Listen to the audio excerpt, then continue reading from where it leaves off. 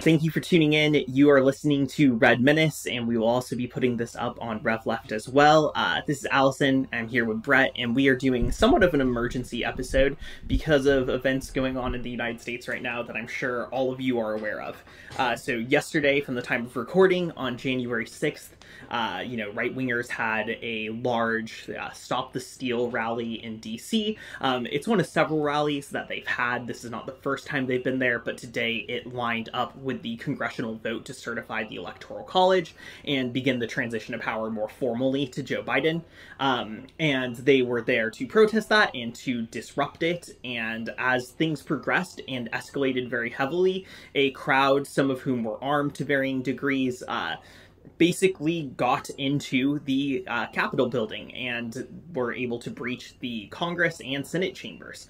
Uh, there's, you know, several things that we'll talk about that led to this, right? How much of that was successfully breaching the building, how much of it was being let in by the police is hard to say, but what happened was these buildings were stormed, they were successfully occupied for a period of time, things were taken out, a lot of dumbass selfie moments were had for these people um, in very self-incriminating ways, and we are now kind of in the wake of this, right? It's uh, the next day now things have stabilized somewhat. Obviously, they've cleared them out. The congressional vote was able to continue and certify Joe Biden. And Trump, you know, as of about an hour ago, managed to get back on Twitter to post a video saying the election's over, we're having a peaceful transition of power. Um, you know, so we are kind of on the other side of it. There's a question of where things are going and also like what the fuck happened yesterday. Um, I think it's just difficult to wrestle with. Um, people were caught off guard. I don't think any of us were really expecting something, you know, of this scale to happen after so many of these smaller rallies from the right have been happening in DC.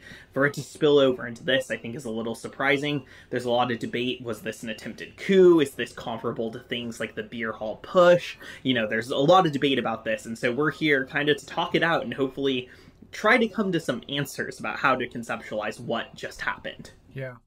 Yeah, I mean, the first question I'd ask all, all the listeners are, are, are you sick of living through history yet? I mean, you know, 20 years ago, the end of history was declared, and here we are. Um, every week now, it seems like a major historical event happens. And I think it is important to, you know, regardless of your critiques of, of American history and the way it talks about itself, I mean, having a, a ragtag group of, of fascists storm the Capitol and ransack it is a historical situation that has really never happened, at least in this, you know, in the last century. For, for generations and generations, it was simply unthinkable. And it did happen. Um, you know, Trump, as you said, just got on, on Twitter um, after being um, banned for 12 hours or whatever. Um, it's just funny to think that the president can't go on Facebook or Twitter, but can have access to the nuclear codes, um, which is just an interesting irony of the situation we're in. But you know, Trump comes out after all of this, just you know, what within the hour, and, and basically condemns everything, throws all of his supporters under the bus, is really concerned about saving his own ass. This whole thing, in large part, um, not not entirely, but in large part, is about and has been about Trump not wanting to give up office, in part because of his ego and his refusal to say that he lost something, but also because it opens him up to prosecution, and even the dubious self pardon won't protect him from state charges, etc. And so now with this, you know, there's real legitimate, you know, criminal um, questioning as to whether this is an is, this is incitement. You know, does this does this put Trump and his family, especially like his kids who are even more explicit than he was about what they wanted to come out of this. Does this put them in legal trouble? And so a big part of Trump coming out and dismissing everything and, and putting everybody down and saying, you know, this this can't be allowed to happen, I think is really him saving his own life or his own ass. But what's hilarious is that Trump incited this entire thing not only from months and months of conspiratorial dog whistling and saying this is a stolen election, etc., but literally the morning that this um, fascist ransacking happened, he was there coordinating it, inciting it, telling people to march to the Capitol and saying, you got to be strong. You can't be weak. If you want to take your country back, we can't be weak, right? So he incites this entire thing. Four of his supporters, as far as I know right now, lost their lives literally for mm-hmm. him. This is not like a, um, a, a political party that has a set of demands. This is not you know a coherent ideology that wants this and this changed about the system. This is a personality cult mired in conspiratorial thinking. You know, ransacking the Capitol almost exclusively to to ensure that President Trump gets four more years in office.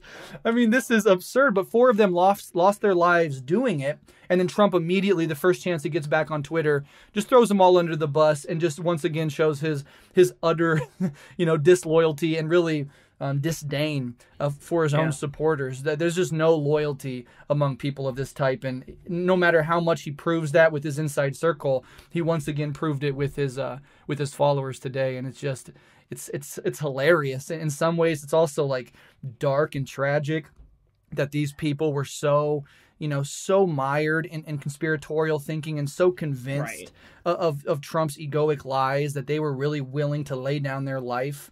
Um, you know, some of them, I think most of them were like a guy tased himself and died, uh, another guy's heart exploded, and the, the, the woman who died literally breaking down the windows to crawl into the one segment of the Capitol where they had, I think, Pelosi and maybe Pence. Um, I can't remember exactly who was behind there, but that's when the the Secret Service or the defender of whatever politician shot um, that Ashley lady in, in the throat, and she fell back and and, and died um, soon thereafter. But yeah, just a complete and utter clusterfuck showing um, a, a, really rabid element of the American population's um, conspiratorial and fascist willingness to do whatever um, it takes to, in this instance, to, to keep their their uh, their leader in, in power for four more years, their favorite millionaire in power for four more years. Um, but but yeah, I mean, I guess I would say you know I hear a lot of verbiage about this, and we can maybe right. talk about the anarchist stuff in a bit. Um, but you know, insurrection and, and, mob violence is getting thrown around a lot, and I was kind of curious, Alyson, as to how you think we should think about this. I've been saying a fascist ransacking, but even I'm unsure if that language quite fits. So, what do you think about the term insurrection specifically? And, and do you have any language that makes sense to you to describe this event? Yeah, so when trying to wrestle with that question, I think it's difficult. Um, you know, the, the language that I see right now is riot, uh, insurrection, and coup. Um, riot, I think, is probably closest to what we saw, but you know, I, I, think we need to wrestle with those other two briefly. So, in terms of whether or not this is a coup or an insurrection, you know, I don't think it's that coordinated. Um, yeah. is ultimately the thing. And like to be clear, the events of yesterday were in a broad sense planned in the open for quite some time, right? So Trump was talking about on Twitter, oh, "I'll see you in D.C. on the sixth. He was hyping it up, and you have other people uh, like Ali Alexander, who's kind of the guy who's been trying to popularized the Stop the Steal hashtag and organizing these protests very publicly, was making a big deal about it. He's now not taking credit for it, his last tweet being Antifa agitation as of yesterday. but you know, you had these people planning this. Alex Jones, if you were listening to his show in the last week, was hyping up an occupation of DC and talking about getting a boat blockade to block naval entrances off the coast. Mm. So, you know, there's been some discussion of this ongoing publicly for a while. But at the same time, I don't think these people who showed up there thought that this is how it was going to go. You know what I mean? I don't think there was the level of coordination where they thought they were successfully going to be able to take this building, and I sure as hell don't think there was coordination to actually overthrow the government as a result of it.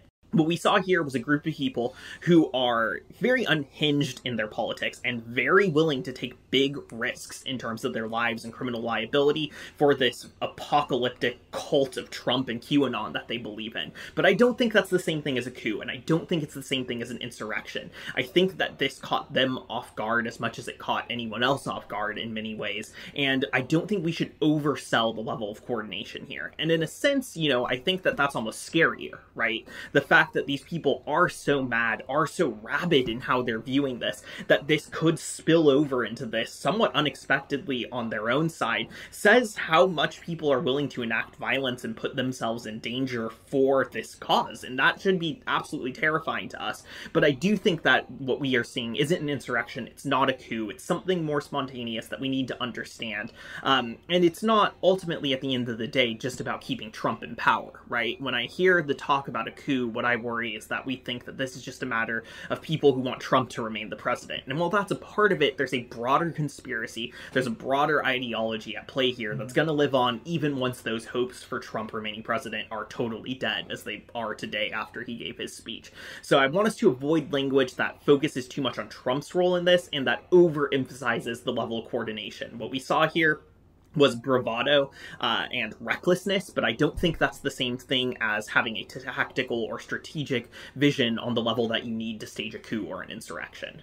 Yeah, and I think that's completely makes sense to me. It's it's it's very sober minded. I agree. A riot probably is the best terms, and it really is a testament to at least in this instance, but more broadly, whenever the right gets together. I mean, you know, the left can can point to them and say it's, it's very dangerous and, and they're not wrong, etc. But it really is a testament to their incoherence, their disorganization. Mm-hmm. I mean, if the left stormed the Capitol you know, there would be a set of at least demands. There would be a coherent right. political right. vision that they're pursuing. And once in, well, what do you do? And when these weirdos got in, they just like sat in the desks and and played with the statues and, and, sat behind the dais and, and the in the Senate um, in chamber and and like really almost like didn't know what is like the dog that mm-hmm. caught the car, like not really knowing right. what to do. So you go in, you you commit multiple felonies in the most surveilled one of the most surveilled buildings in the entire country. N- very few to any were wearing any sort of disguises or masks, and for what? Uh, to to to pick up the phone and pretend to talk to somebody on the other line, to to throw your feet up at Nancy Pelosi's desk. I mean, okay, I mean we'll see what happens, but it, it's certainly. Uh, a testament to their incoherence and disorganization and like it is a it is a strength of the left that we for all of our problems for all of our infighting for our profound relative weakness um, there is still a level of organization. We still have a political vision we're pursuing with obvious demands that that fall out of that basic political vision. Um, and like you know, when when the left riots, if you want to use that language for the left, all summer, which the right is you know loving to, to draw these these parallels and call out hypocrisy. When when Black Lives Matter quote unquote riots they're doing it because agents of the state that their tax dollars fund are murdering them in the street. You know, when, when the left does Occupy, it's because there is criminal bailing out of banks while human beings lose their homes. Mm-hmm. There's criminal levels of wealth inequality. There is a critique that is systemic and that falls out of a deeper political vision of egalitarianism and equality and human freedom and anti racism, etc. This just doesn't exist on the right, or if it does, it exists in such fractured and weird ways that it can never right. come together in any coherent way. Um, what what really unites them at the at the end of the day, the people that ransacked this building, and I think is going to be a legacy that continues to live on, is the simple belief that their political opponents are, are just not legitimate. That if they lose an election, it, it, it literally cannot, by definition, be legitimate. And there is deep senses of entitlement that stem from whiteness and settler colonialism at play here. And as we were talking beforehand, and it is somewhat trite or cliche at this point to, to mention that if this was Black Lives Matter or the left, you know, how different the response would have been. But it really is important to think, especially if this was a Black Lives Matter protest storming the Capitol. You would have, and I'm not exaggerating, you would have dead bodies on the Capitol steps. You would have bloodshed. You would have mass arrests. You know what? 40 people got arrested at this event. Right. Whereas peaceful protests all through the summer routinely got hundreds of people people mass arrested, just caged, cornered, and arrested on mass, no matter what you were doing or you weren't doing. And then at the at the, the next day there'd be grand jury hearings. I mean, there'd be FBI raids of black organizers' homes. I mean, you would see a much more robust response from beginning, middle, and end from the state if this was a left wing um, movement, and that is among many other reasons. I mean, there's whiteness definitely involved here. With Black Lives Matter, it would have been you know no question different, but it's also because the left actually represents a different vision of the future and a systematic critique of the status quo, whereas angry white settlers feeling entitled to to storm buildings and do whatever they want. It's not a challenge to the US state, it's a function of it. It's a function right. of the empire. And and sure the ruling class doesn't like it. It's messy, it's dirty. You know, Pelosi's probably horrified that some white fascist sat in her desk and stuff. They don't like it. It makes them look bad, but it's not a fucking threat to the status quo. It's not a threat to any of their pocketbooks or their their place of power and prestige in society. And in fact, they can and will use this as more pretext to crack down on, on the left, right? Mm-hmm. And maybe we can talk about the anarchist language now, but also to expand the police state, to expand surveillance, and to use this going forward as a both sides sort of thing. And I think that speaks well to the overuse of the word anarchism when describing these people is that whether that's conscious or not on, on the on the behalf of the pundit talking, it serves that interest of tying the far left and the far right together, muddying the water around these terms. And I was listening to ABC, CNN, Fox News, switching back and forth all night between these different channels and MSNBC. I heard anarchy and anarchism dozens of times. I think I heard fascism maybe once today on MSNBC, maybe if I remember that correctly. Um, and so that will definitely continue to play a rhetorical and linguistic role going forward whenever there is any sort of left wing um, protest that turns in any way uh, sort of violent or, or rioty. Uh, that will be marshaled up again, Right. I think. What, what are your thoughts on that? Yeah, I mean, so maybe I I- think I would like to contextualize it to make the case that fascism is the correct term, and then sort of do some juxtaposition uh, between how it's being talked about, because you know the the question is like, what is this fight that we're seeing in a certain sense? Who is this faction attacking the state? And CNN, all these people, you know, the word that they have for it is anarchism, but these are people who you know they're not opposed to the state existing, right? They want a president to stay in power. So clearly, anarchism is an incorrect label just on like a purely semantic level. But also, like the failure to call them fascists, I think, is important, right? So. I think there's like two things that are worth considering, you know, to step back and maybe abstract theoretically a little bit. So one is what is the class composition of the protest we saw yesterday? And you know, we have both made the case and I stand pretty strongly by this that the class composition, you know, of these Trump supporters is largely petty bourgeois, right? So it is mostly the smaller capitalists, business owners, or maybe skilled contractors who've come to the level of petty bourgeois status. And we can see that in several ways, right? Your average working person can't afford to fucking fly to DC to storm the state house. In a you know? recession, right. in a recession in the middle in of the, middle week. of the work week. Exactly. Right, exactly. So that's just not going to happen. And they're not people who own boats to take part in these boat brigades and all this other bullshit that we're seeing. It is very clear that the base of this uh, sort of fascist coalition is the petty bourgeoisie. And in that sense, I think we can contextualize what we saw yesterday as a fight between the petty bourgeoisie and the big bourgeoisie. We can get into more details about that, but that I think is a fair way to conceptualize it. So then I think the other thing we need to theoretically is say who is the base of fascism, right? Who is it that makes up the fascist base? And I recommend all the time Clara Zetkin's work on fascism. I think she makes a really good case. But in her analysis of the uh, sort of post World War One period in Germany, she argues that a huge part of the mass of the sort of mass base of fascism is a declassed or precarious petty bourgeoisie, right? So it's the petty bourgeoisie who were hurt very badly by the uh, sort of sanctions that were put on Germany following the war, and that caused them to be positioned as critical of the big bourgeoisie, but also not progressive in the interests of the working class. They had their own interests in mind. And I think if we look at these clearly aggrieved Trump supporters, we see an aggrieved, precarious, petty bourgeoisie. The pandemic has put that class in a very difficult situation, right? Restaurant owners are getting fucked in terms of being able to stay open because of the way that the lockdown is functioning, and the livelihood of this class has been threatened. And when threatened with the possibility of proletarianization, what the petty bourgeoisie often does is not turn to the working class to find a coalition against the capitalist powers, but to assert their position as having a rightful place within the capitalist class, and to reassert their demand that they ought to be included in it. And I think historically, and again, you should all dive into some of the theoretical texts around this, when we look at who makes up the base of fascism, it is these aggrieved, angry, petty bourgeois elements during times of crisis. And that is precisely where we find ourselves themselves. So, you know, all that to say, the word to describe these people is fascist. That is who they are. Historically, the parallels are very, very clear. The class composition is the same, and this is a fight between petty bourgeois fascist elements and the big capitalist elements who support the state. This is not between progressive forces or regressive forces. These are two reactionary elements. On the one hand, you have these petty bourgeois people fighting, and on the other hand, you have large corporations like Chevron saying we need the rule of law and to ensure a peaceful transition Coca-Cola on as well. Twitter. Yeah. right, exactly. So so the conflict there is very clear. So the language we need to insist on is that these are fascists, but obviously that's not what we're seeing develop. The liberal response has been to call them anarchists, which I think, you know, is even to people who don't know that much about anarchism not quite correct.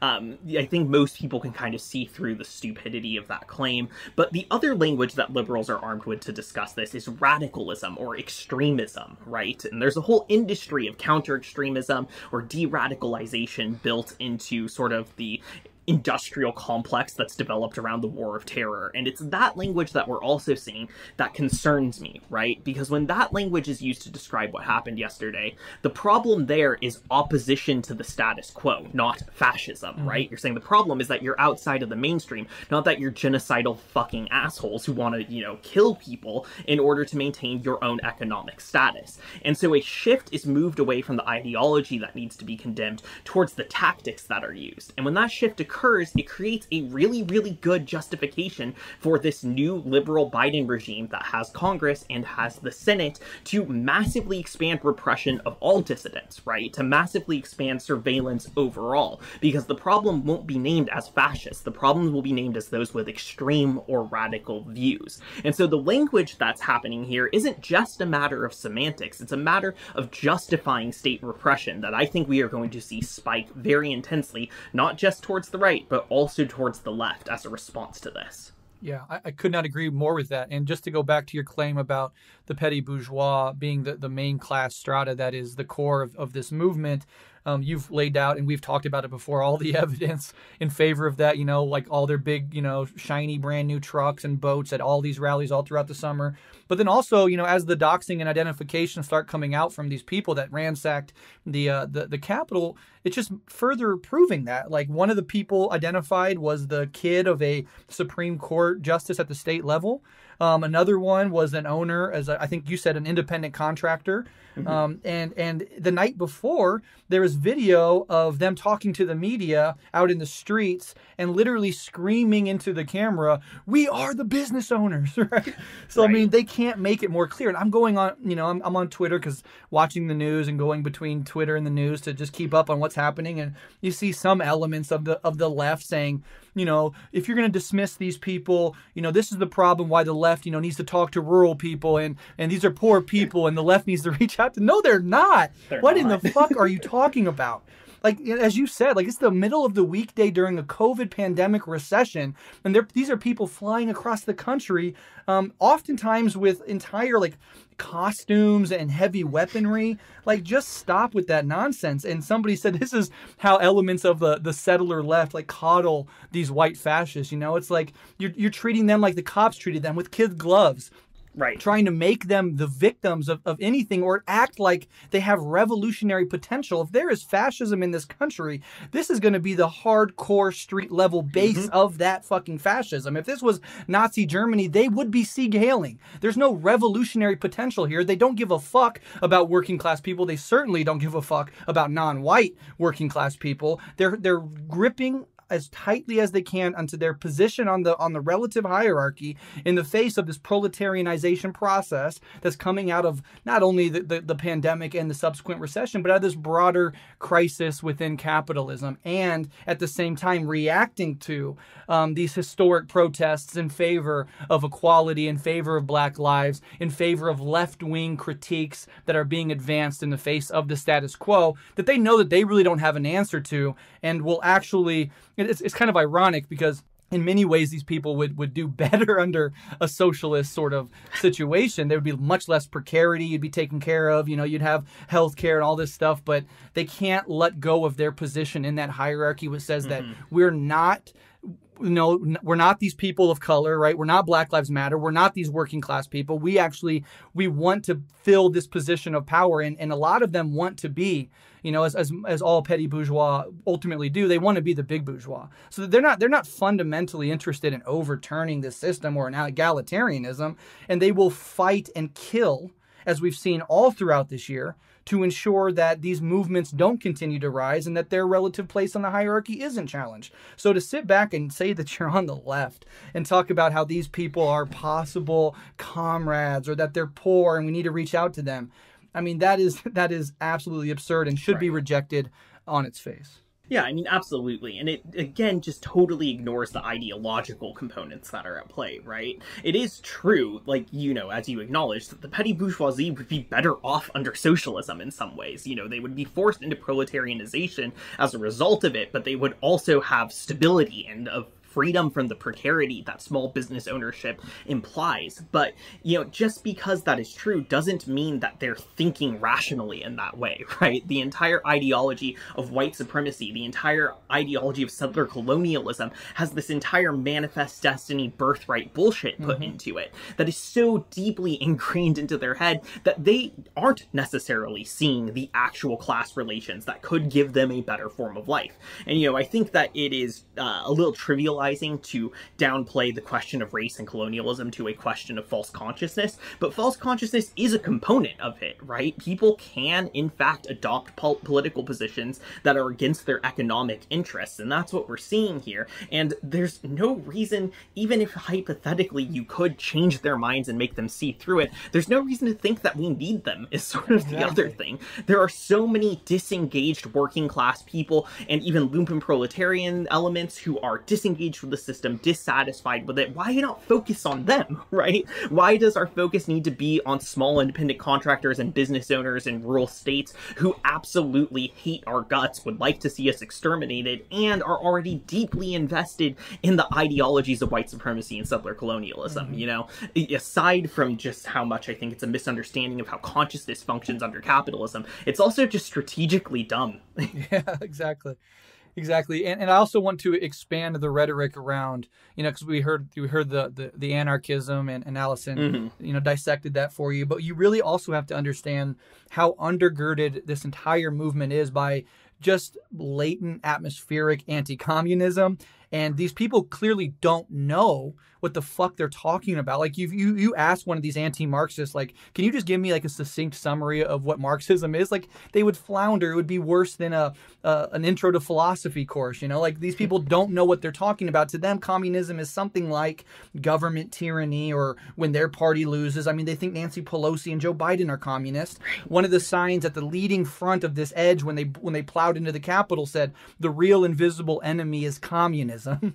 you know, like the, the, the role that anti communism plays and the rhetoric, even in moments when there's not acute crisis, that latent anti communism is always there, always being poked and prodded, always making sure that it's still there so that in times of crisis, it can easily be marshaled for the forces of reaction and the forces of the status quo. And whether they're talking about being anti Marxist, whether they're blaming things on anarchists, or whether they're screaming fuck Antifa, it's all the same shit. And anti blackness is also inherently tied up into all of this. When you saw the people marching into that Capitol, 95% were white men. And there was a, an incident, I think, in, in LA, and you can correct me if I'm wrong, mm-hmm. where there was also a rally at the same time. And I think there was just a black woman walking home from work that got surrounded, harassed, yeah. sprayed, got her hair pulled by some white fascist asshole. Um, you know, men grabbing her and pulling her around and shit. And she was just on her way to work, but she was black.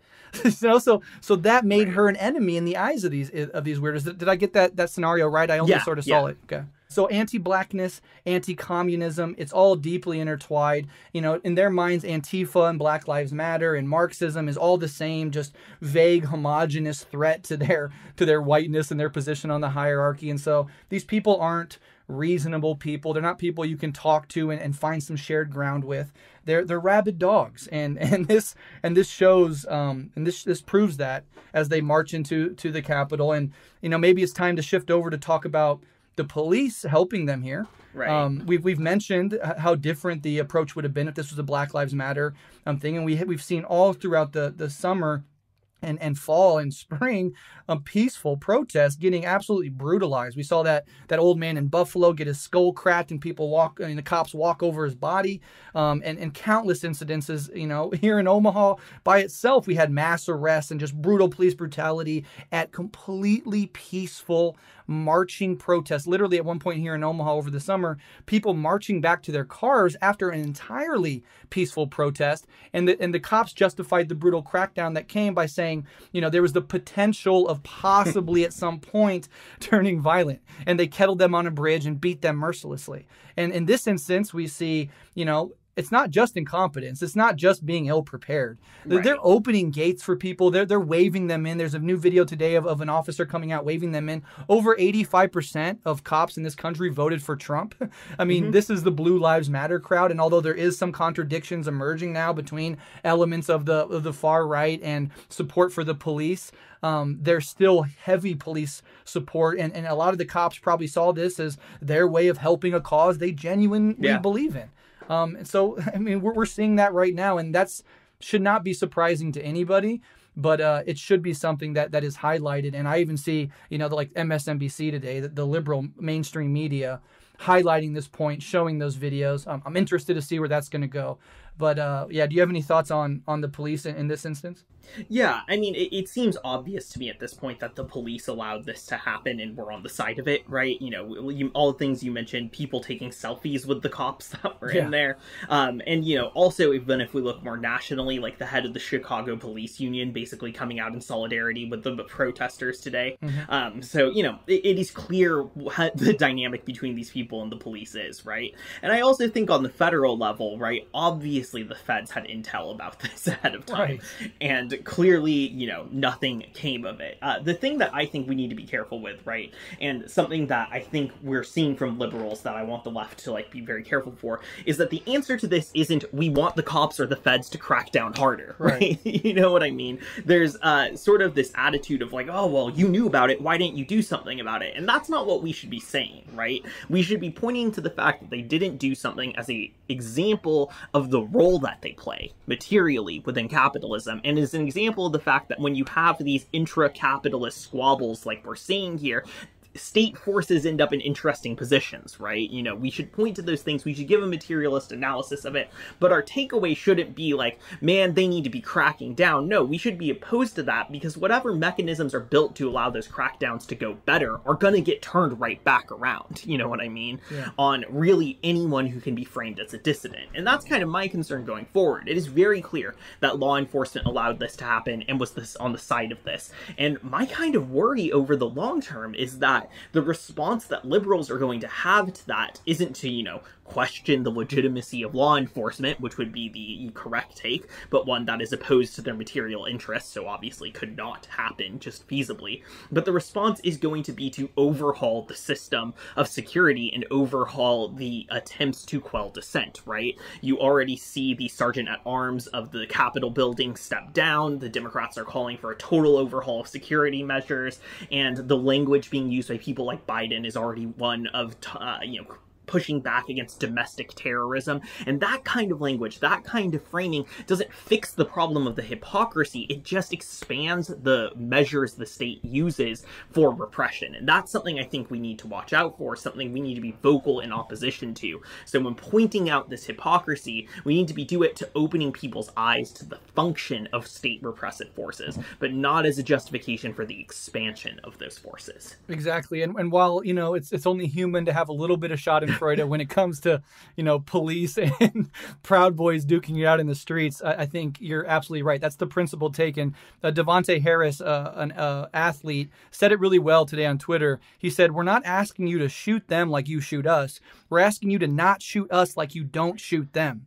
And that's what we should be aiming at you know and and um and, and i think that's that's the prince that's the only principle take because you're absolutely right. All this rhetoric all this co-option of this scenario is being put to expand the police force expand states uh, um, the, the carceral state the surveillance state and it will be you know, even more so brought down on the head uh, of the left than it will the right going forward. And it is worth noting and maybe this is a point that i, I wanted to get to and I'll, I'll just say it right now and maybe it takes us in a new direction but it's just I just got to point this out because the day before the the riot, right, the fascist riot at the Capitol, um, Ossoff and Warnock won their races in Georgia. And that was, you know, everybody, you know, electoral believers were, were waiting on that because they say, okay, well, then the Democrats don't have any blocking, right? Mitch McConnell no longer can block everything they do like they did with Obama. With the, the Democrats now have the executive branch, the House, and the Senate. And so they can really do some big stuff. But then with this crisis, right? It even adds to that. In the wake of this crisis, all polling shows that the vast majority of Americans across the political spectrum, the apolitical, etc., if you ask people, average Americans on the street about this event, they're disgusted by it. They don't want to be associated with it, etc., right? So this creates even more of a mandate, even more of an opening, even more leeway mm-hmm. for the Democrats to really come in hot, do some big structural you know, changes and reforms that this country so desperately needs. Eh, you know, regardless of whether or not you want the system to continue, just to to help the suffering in this society, like a real pandemic response, universal health care, the expansion of voting rights, stuff like that, um, would really would make a material difference in people's life. Um, while we continue to organize and whatnot. Um, and so they won't do that. And, and you know, this right. is not even a prediction. I'm not trying to like rub my crystal ball here. I'm telling you, as a matter of fact, they just won't do it. They will be some sort of stimulus stuff, you know, out of the gate, and they'll probably use that as their excuse of, hey, we did a big thing. Maybe everybody gets two thousand dollar checks once Biden gets in, and that's his sort of like, there you go. Now we're done with that. Um, but they really have an opportunity, even above and beyond just winning the Senate now with this crisis, to really do some huge things, and they won't do it. One of the other things that I think is going to happen in the wake of this, and I would love to be proved wrong on this, but there will be a state crackdown and FBI mm-hmm. investigations of the participants, right? Of the people on the ground that went in who hold no power, you know, relative to the elites and are easily can can easily be given, you know, heavy charges, possibly heavy prison sentences, and show the world, see, the U.S. is here. We do have law and order still, right. blah, blah, blah. But the elites, the rich elites that cheered this along the entire mm-hmm. way, that knew from day one this was a load of bullshit, like Ted Cruz and Josh Hawley and Trump himself and all the sycophants and slime balls that surround these weirdos, they knew They've always known this was complete and utter bullshit. They pushed the lie anyway. And those people will have absolutely no repercussions whatsoever. In fact, Kelly Loeffler, right, one of the people running for Senate, just the most despicable, racist piece of shit, did insider trading, uh, trading when the coronavirus hit, made a, you know, was already a millionaire, made even more money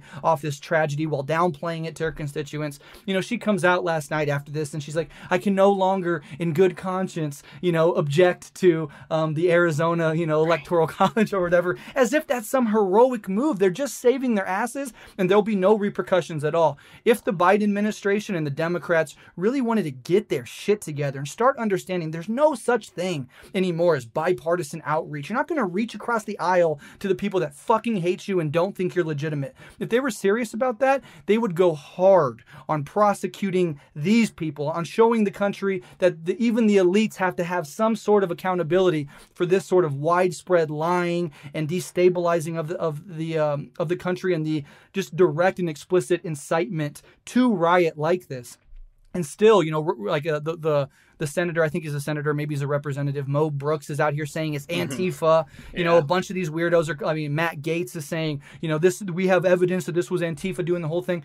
You know, if the elites don't ever face any sort of accountability for this shit, the US government is just going to continue to be delegitimized in the eyes of millions and millions of people. The far left, folks that are listening, you know, Alyson, I, a lot of you that are listening, the state's been delegitimized in our eyes forever, right? right? But it still hold, held a lot of sway with average liberals, centrists, and conservatives. But now, you know, we had first the Russiagate conspiracy theory, where liberals started to you know, not believe that the outcome of the election, start to delegitimize the state. Trump himself is the best delegitimizer of the U.S. state imaginable. And now the right, huge chunks of the conservative, patriotic, Constitution till I die right, are now convinced that the system is is delegitimate and that their their government is um, stolen from them, etc. So the entire state apparatus is really being shaken to its core. I'm not even sure with you know heavy um, punishments for these for these elites that that partook and, and, exacerbated this entire thing. If that will bring back a sense of legitimacy.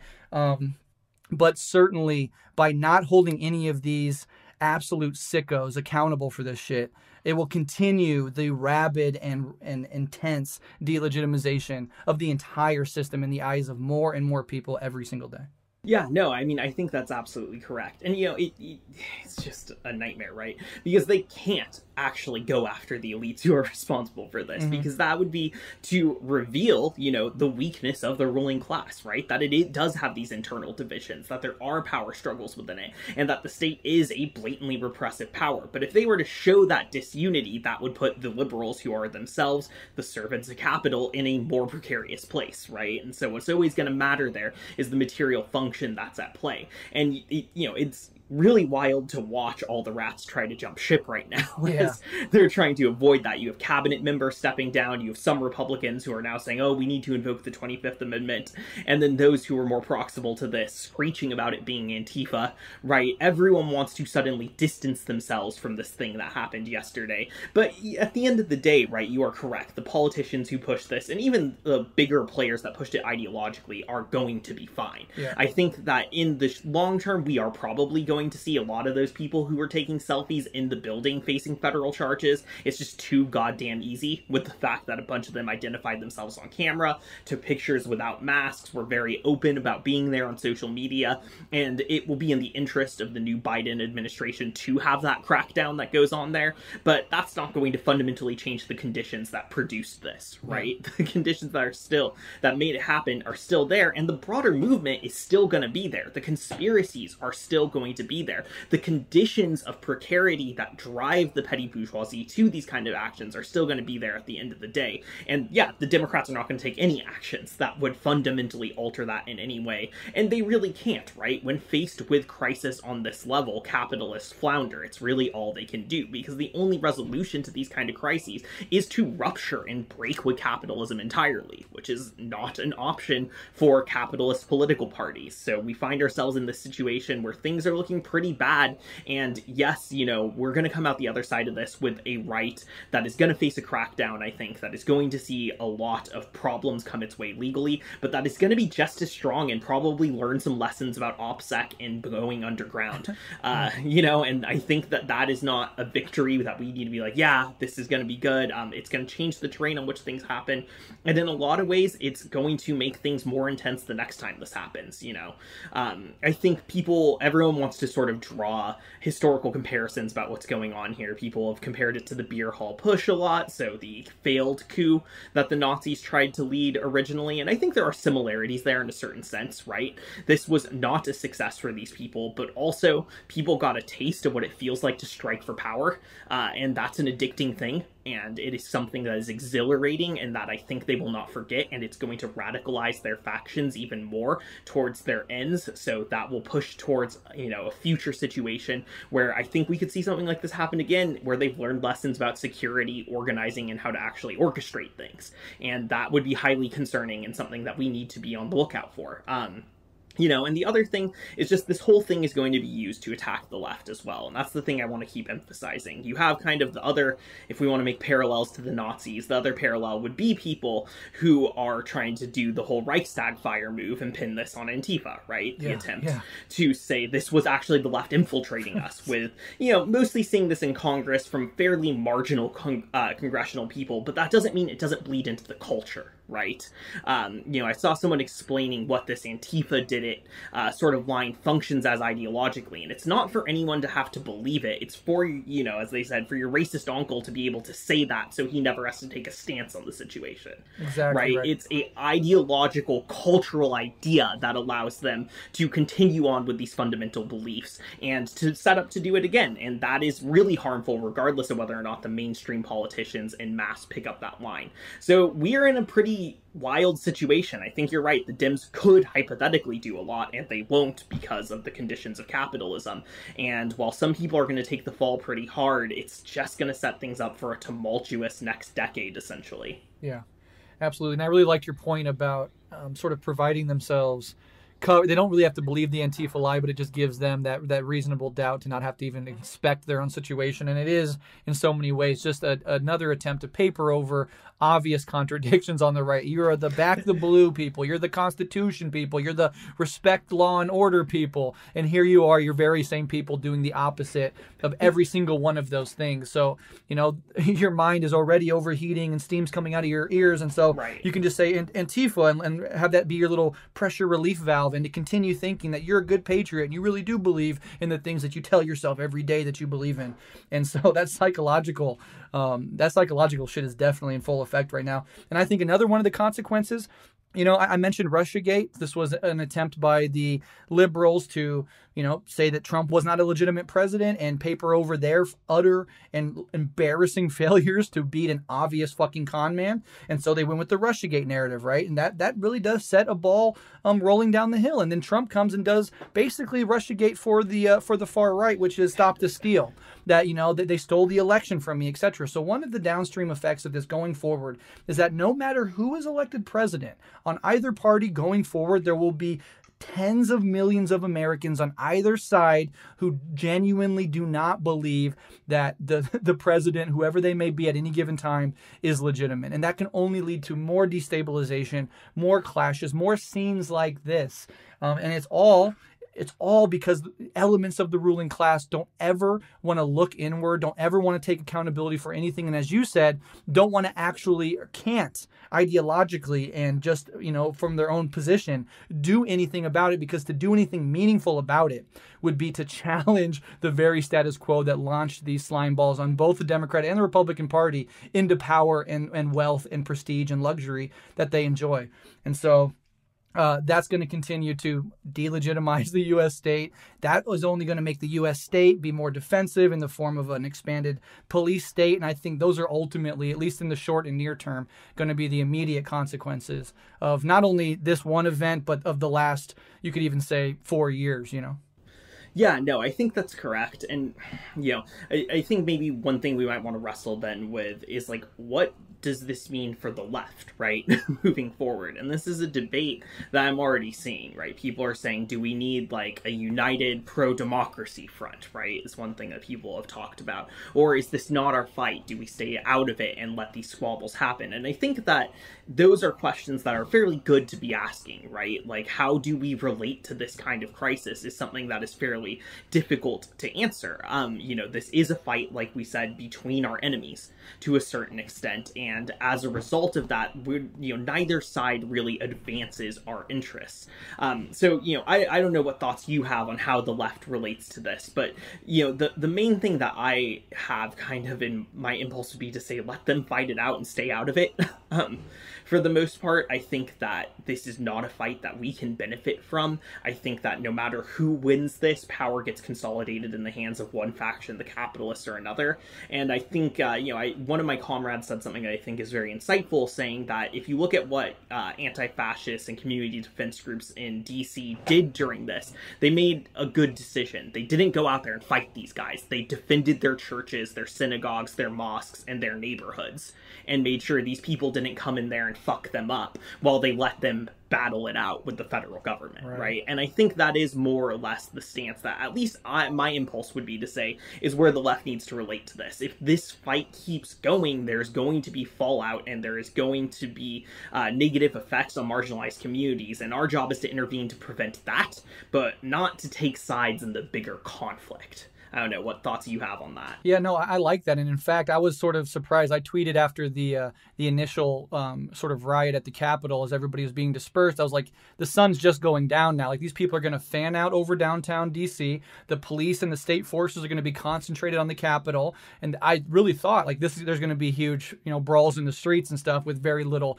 police response given what just happened. But I was surprised and in some ways pleasantly surprised to not see that happen because of the strategic retreat to play playing defense, let these assholes fight it out amongst themselves, and not to give any more flame to the fire. Really let this let this event be known for what it was, and not muddy the water with you know because if, if, you saw left wing brawls in the street, it would just feed into this Antifa bullshit and right. this both sidesism, etc. And, and their their arguments are much more transparent and weak because that didn't happen. So that was that was actually pretty cool to see.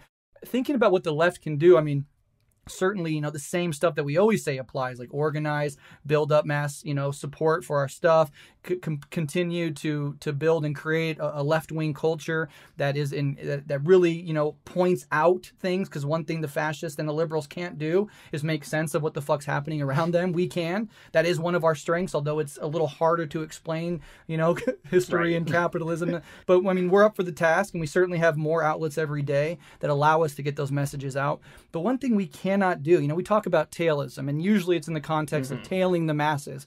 There is a significant chunk of the so-called left that tails the Democratic Party, that that is hitching their wagon to you know figures like the Squad. Not to say that they're bad or they're they're terrible people or anything like that. They're good, well intentioned people, but you see the contradictions of trying to do anything within the party itself or to tie your political project to that of the Democrats. When you look at the Democrats, you have somebody like Nancy Pelosi, you have somebody like Joe Manchin. Like, this is not a tent for working class radicals to do anything in. I'm not going to be in the same political party as as these absolute ghouls and millionaires who have obvious contrasting economic visions for how they think the future is going to go and for their own personal wealth and power. So we have to not only really cut ourselves off entirely from the Democratic Party, which is a rotten brand that most people, even those that hate the right, they don't like the Democrats for very good reason. Why should we have that albatross hanging around our neck at all? Cut off ourselves from the Democratic Party and continue to challenge them and be an outside force that rejects them. And that actually will bring in many more people. The liberals are already committed to the Democratic Party. You're not going to convince them of anything. They're they're already in. It's, it's the as you said earlier, the tens of millions of working class people who are being pulverized right now that that know the system no matter who's in power doesn't work for them. Joe biden's administration is about to prove that once again. Right. cut off rupture completely from the democratic party and challenge it from the outside vocif- just as vociferously as we challenge the republican party. But that can't just be rhetorical. It has to be rooted in continued organizing in continued mass work and continued building up of these revolutionary cultural outlets that can give our own perspectives our own narratives our own analysis to more and more people every single day. There are lots of young people that were radicalized this summer over black lives matter. There are lots of of young people coming up that are radicalized looking down the barrel of climate change knowing they have no fucking future. These people are millions and millions. There's more every single day and they are increasingly open to structural critiques of this entire fucking system and to continue playing patty cake with people like fucking Nancy Pelosi and Chuck Schumer and trying to do it from the inside even though for centuries we've seen that just doesn't work is is is a form of sort of nihilism. Like it has to end um, and so I think that's another crucial piece, which won't be surprising to anybody listening uh, to this show, but is something we should continue to, to push and not put up with anybody who wants to marry any segment of our movement to this rotten, dead, sinking ship of a political party. Right. And yeah, I think that it's important that we be prepared for how ideologically this is going to go down. Because the thing that people are talking about that I think is correct is that Biden is, you know, he ran as, and he's going to try to sell us this vision of national unity, right? We need to come together. We need to heal these wounds. We need to fix these problems and rebuild our country after four years of chaos, is basically kind of the story that we're getting here. And that story is going to be more compelling after yesterday, right? Because what he gets to juxtapose that national unity to is this kind of chaos that we're seeing in this situation.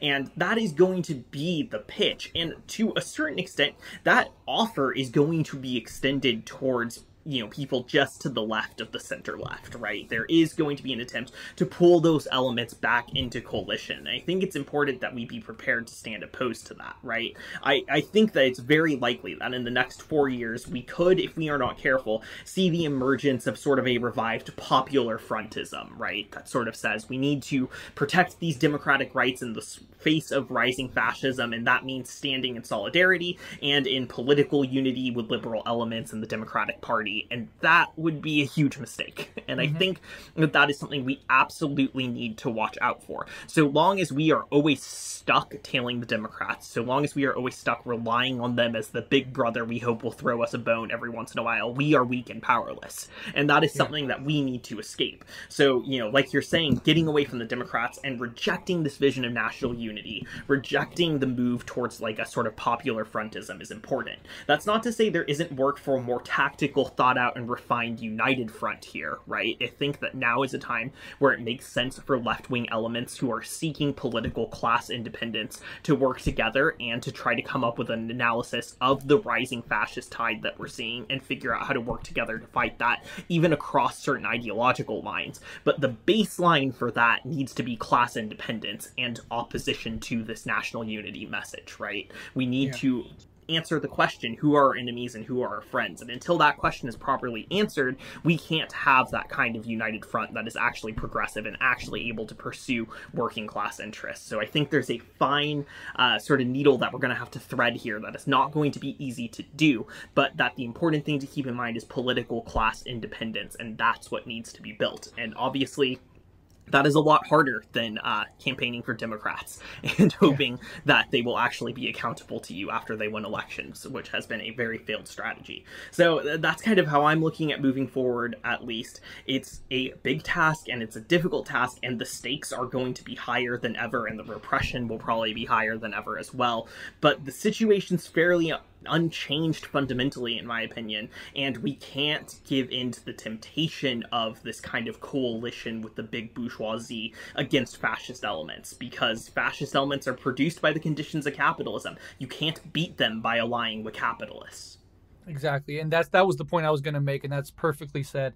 It's that these these neoliberal administrations they, they, they lay the groundwork for the fascism that then they, they then say you have to join with us to stop eight years of Obama's tepid neoliberalism um, gave us Trump, you know, and and now Biden is going to do the exact same thing, and it's just going to get worse and worse. All the contradictions of society are only going to get more intensified, including climate change, including inequality, especially after this recession, possibly a depression. And so it's just going to lead right back down that same road of creating enormous space for faux populists on the far right to take advantage of it. And that cycle will continue all the way into barbarism and apocalypse and dystopia if we don't eventually say enough is enough. We are not siding at all with the Democratic Party. We can side with liberals when it comes to strategic, as you said, shared interest around certain things, and certainly when it comes to street level confronting of fascists, we need all the numbers we can get. But when it comes to actual political organization and political um, you know, pushing for a vision, it has to be not only separate from the Democratic Party, but actually outwardly challenging it to show that no, we are not by any means you know, teamed up with these fucking people that even if you're not a, a right wing weirdo with a melted brain, you still don't trust and you still hate for very good reason. Those are not our friends. We're not working with them. We don't want to be in the same party with them. And we can actually offer better critiques of them than the right ever can. And we can offer better critiques of the right than the liberals ever can. And, you know, we have all the deck stacked against us because we're never going to get advertising and, and big, you know, astroturfed organizations and big funding. But we do have numbers and more numbers every single day. And those numbers become very meaningful when they're organized properly. And that is continues to be the task. There is no easy way out of this. And in fact, for the next several years to several decades, depending on how things go, it's just going to get worse and worse. You know, right. people are people are saying, "Oh, thank God, 2020 is over." It's almost as if people forget calendars are just arbitrary distinctions that help us measure time. There is no ending or beginning. It's just a downward fucking you know, slog in the mud until fundamental change, which both parties fundamentally oppose, happens. And uh, so the, the sooner we can get our shit together, get our numbers together, organize them, the better. But it's not going to happen overnight. And it's going to be a long fight that we all have to commit ourselves to for our lifetimes. And hopefully we can get out of this without a death spiral into barbarism and another, which we're already deep into, mass extinction event. Um, so, so these are some of the, the thoughts that that Alyson and I have about how the left uh, can move forward given um, what we're seeing. Is there anything else that you wanted to touch on or any ideas you wanted to use to wrap up with? Yeah, I, maybe on a hopeful note, um, something that might you know be more positive. I think one thing that I want to think about and wrestle with a little bit is you know, what we saw yesterday was quite the spectacle. There's just no question of it, right? Those images are wild, and it was a strike at the state that was on a very intense scale. And in response to that, I've seen a lot of people on the left who are like, oh, we are out organized by these people. They're way more militant and way more organized than us. And I want to push back against that a little bit. Um, and I think, like, one thing that I want us to think about is that the right has a huge advantage over us in that the only things they need to organize around are these kind of street brawls and these kind of moves, right? They don't give a shit about feeding people. They don't give a shit about helping people not get evicted. They don't give a shit about bail funds. They don't care about all these broader organizational structures. They get to focus on just these things. If you're a Proud Boy, your job's pretty easy, right? It's street brawling, and that's what you have to care about. But But if you're on the left, we have a way bigger vision, right? We believe in labor organizing. We believe in mutual aid organizing. We believe in tenant organizing. We believe in all of this wide array of things, of which community defense is one part.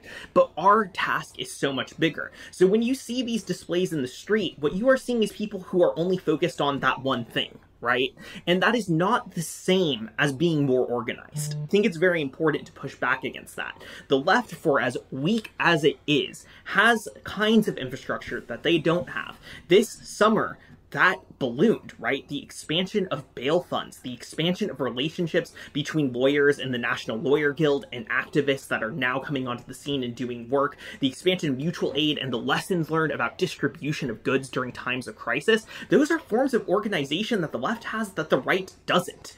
And we can forget about those if our vision is just these street battles and these big spectacle moments, but it's the daily on you know like smaller grind of organizing in workplaces organizing unions of getting people pulled together and conscious that counts as organization for us, not being able to temporarily storm buildings or massively mobilize for street fights. So I want to push back against the idea of like, look what happened. They're so much more organized than us. They're so much stronger than us. I don't think that's necessarily the case. They just have a single thing they get to focus on where we have to focus on everything. So I don't think that we should get discouraged by that. I think that we should be asking how are the forms of infrastructure that we built this summer in response to a crisis going to transform to long-term resistance against a rising tide of fascism. And there's a lot of room for hope there, I think. So that's kind of the thought that I have at least.